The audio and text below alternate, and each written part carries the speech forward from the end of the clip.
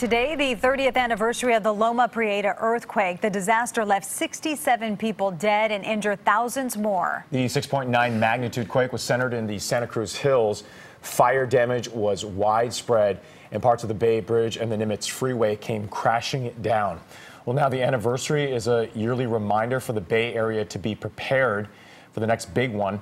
The U.S. Geological Survey is launching the first statewide early warning system today. It's an app called MyShake, and it could give users valuable seconds of warning before the big one hits. And Jackie Ward is live in San Francisco with more on that. I downloaded it, Jackie. So, how does it work?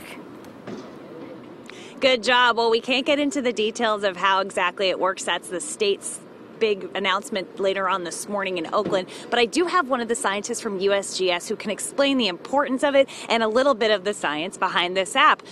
Why is this so important? It only gives you a few seconds notice, but that will make a difference? It only takes a few seconds to take some sort of protective action like drop drop cover and hold on.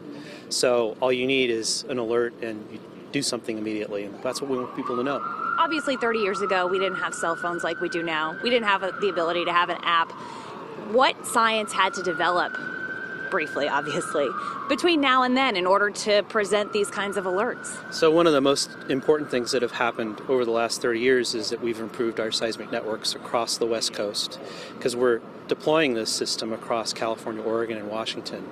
Also, we needed to improve the ways that we got information from the field to stations to do the processing. So everything's sped up, and of course, the increase in technology. And so there are sensors around the area. Is that the gist of this? That's right. So across the West Coast, we're aiming for 1,675 stations. Hmm.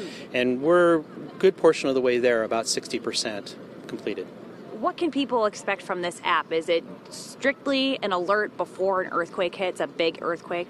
You can receive an alert before, during, or after shaking arrives at your location.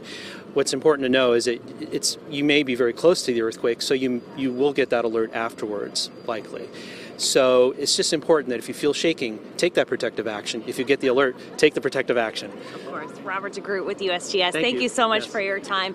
Download the app just like Michelle. I got to get on it as well. My Shake app. That's what it's called. Live in San Francisco. Jackie Ward, KPIX 5. Yeah, we're all doing it. Jackie Ward, uh, thank you so much. And we've posted a link, uh, a MyShake tutorial link online for that and instruction on how to set up that My Shake app. Head to our website, kpix.com.